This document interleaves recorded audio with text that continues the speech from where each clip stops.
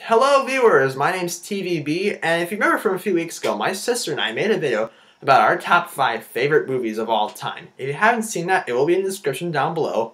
But now I was thinking, you know, what's my list of top five, of my top favorite movies of all time without a list without of my top least favorite movies of all time.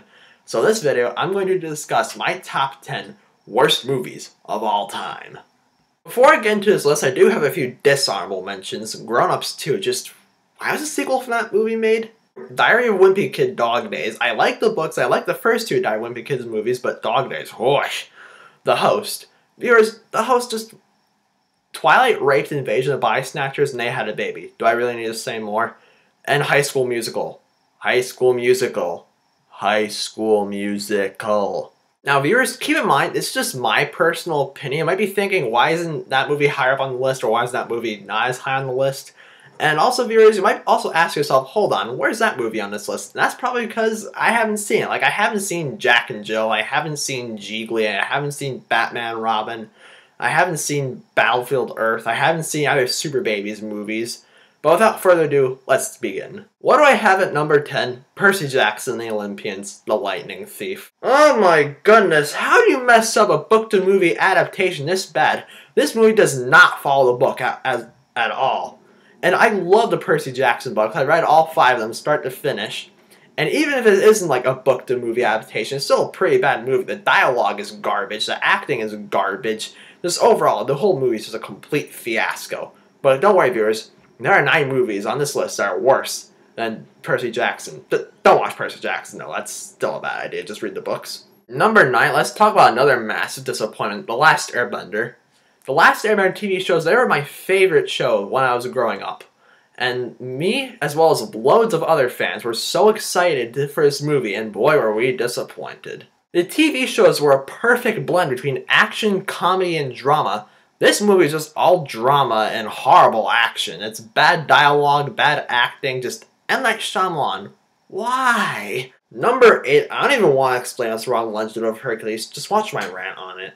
Number seven, nobody thought M. Night Shyamalan could make a movie worse than The Last Airbender, but they were wrong. He made After Earth. I like the premise of After Earth, like what Earth might look like in a couple thousand years from now. Now all the animals just really mutated and vicious. And that's the thing with most bad movies. They have potential to be good movies.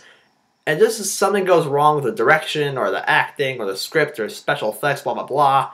The problem with After Earth, it has M. Night Shyamalan's name written all over it. Are there poorly executed action scenes? Yes. Is it terribly acted? Yes. Is it horribly written? Oh yeah. And I feel really bad for Will Smith because he really embarrassed his son, Jaden Smith. And there he was at the Academy Awards back in March presenting the award for Best Picture. And I'm sure he was just thinking to himself, oh god, that was an After Earth. Number six. You suck, 1976 King Kong. And if you want to know why it's the worst remake I've ever seen, just watch my rant on it. Funny, on my top five favorite movies of all time, it was number five was my favorite anime movie of all time, which is The Lion King. And my number five on my top ten worst movies of all time is my least favorite anime movie of all time, The Wild. This Madagascar ripoff centers around a group of zoo animals who's um the lion in the group, his son, like um escapes from the zoo and he gets shipped off back to the wild. It doesn't even give us a specific location. Obviously, the, his father and all his friends had to go on a quest to get his son back. Sounds good, right? No. The people in this movie obviously have never even been to New York because New York's zoo does not even exist, and nothing in this movie makes any sense. The villains in this movie are meat-eating wildebeest. A squirrel falls over a freaking giraffe, and this whole and just look at the animation. Have you seen any animals in, a, in an anime movie that are uglier than those? Me neither. If you're a little kid who knows nothing about animals, I guess you'll enjoy this movie, but I'm in high school. I've been reading animal books my entire life, so no. Number 4, a lot of really weird movies came out in the 90s and early 2000s, but this tops the list. Freddy Got Fingered. Just looking at the title, you know this movie is gonna be a disaster. If you've been subscribed to my channel for a while now, you probably know I'm a big fan of just mindless, ridiculous humor. But Freddy Got Fingered isn't like funny, mindless, ridiculous humor. It's WTF mindless, ridiculous humor. And after I watched this movie, guys, I was dead silent for 20 minutes. And if a movie makes me go dead silent for 20 minutes, that probably means it was a really awesome movie and you just need some time to soak in what you just watched. Or it's a really bad movie. You're just thinking to yourself, oh geez, what the heck did I just watch? Freddy Got Fingered is an all out attack on your intelligence, and there's all these terrible jokes about disabled and rape and child molestation and people in wheelchairs. And there's a whole movie, it's just a complete disaster. Tom Green, thanks for ruining my evening.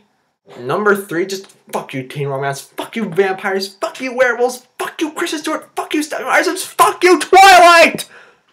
You have corrupted the minds of all these poor teenage girls, and you've ruined the teen romance genre. Your acting is horrible. Your dialogue is horrible. The whole premise of the movie is just complete garbage, and I hate you, Twilight. And the only reason why Twilight is not number one viewers because I've seen two other movies in my life that just hit me to the core, and it hurt real bad.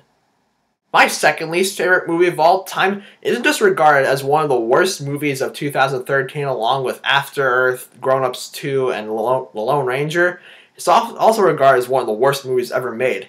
And that, my friends, is movie 43. Just like how I said that The Lord of the Rings and The Lion King are a few movies I've seen that I can say nothing negative about, I can say nothing positive about movie 43. The whole premise of the movie is just like a bunch of seven skits and all done by some of Hollywood's biggest stars, and none of them maybe even chuckle. But you had to have laughed at the scene where there were balls hanging from Hugh Jackman's neck. No, that scene was just stupid and disturbing. That was literally the entire movie. It's disturbing, it's stupid, it's racist, and it's just a huge disgrace to Hollywood. I feel so bad for everybody who was in this movie. Movie makers, leave all sketch comedy to YouTube, and Peter Farrelly, Never do this to us again. Number one, this is it, guys. My friend has been telling me about how terrible this movie is for years.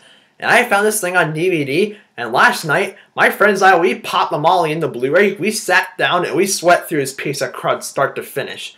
And this monstrosity of a movie is Troll 2. The fact that Troll 2 and Troll 1 have no connection at all, and the fact that there's no trolls in this movie is just the icing on the cake. It centers around a family and the daughter's boyfriend and his friends going on vacation to this town called Nilbog, and Nilbog is overrun by all these vegetarian goblins that turn people to plants so they can eat them.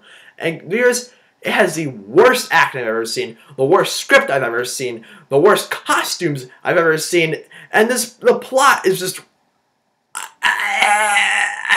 Sorry for gagging there. It's just this movie is laughably terrible at some parts, and this movie is painfully terrible at some parts. A rant on Troll 2 could go on for an entire hour, viewers, and therefore, it's my number one worst movie of all time. Congratulations. So there you guys have it, my top 10 worst movies of all time. Do you guys agree with me? What are some of your least favorite movies of all time? Comment below, let me know. And if you haven't seen my top 5 favorite movies of all time, don't forget to check that out, that'll be in the description. And yeah, have a nice day. Oh my god!